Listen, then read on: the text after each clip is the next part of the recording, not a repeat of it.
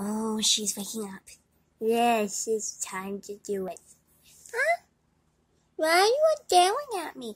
It's your fault that you switched out the zero milk with the regular milk because you did it as a prank. I checked the nanny cam when that happened. It's your fault you called me stupid for not being able to walk yesterday. Don't remember that. It's your fault that you called me ugly for wearing this dress. It's your fault I got hurt. And it's your fault that I got food poisoning because you switched out the dog food with the cat food and I accidentally ate dog food. Ugh, I feel queasy already. So that's it. You come to a conclusion. We don't like you anymore. So go away. no, no, no, no. Um, Tara, wake up. You're dreaming. You had a nightmare. Wake up.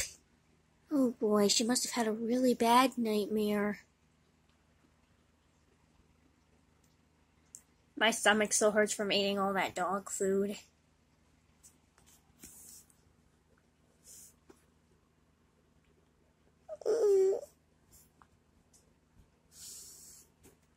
Where's she going? I'm running away because you all don't like me anymore. Uh, someone please tell me what just happened? Uh, I don't know.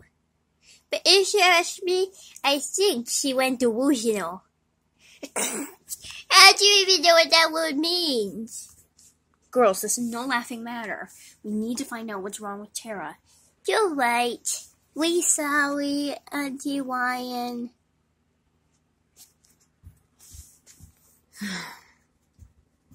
Anyways, I'm gonna just go catch myself a fish or two. Gotta get that dog food out of my system first. So, if you don't mind, I'm gonna go use the litter box. We did not need to know that. Whatever. Ow! Oh god, I squashed you. I am so sorry. Uh, maybe I'll go the other way. Someone please tell me what just happened?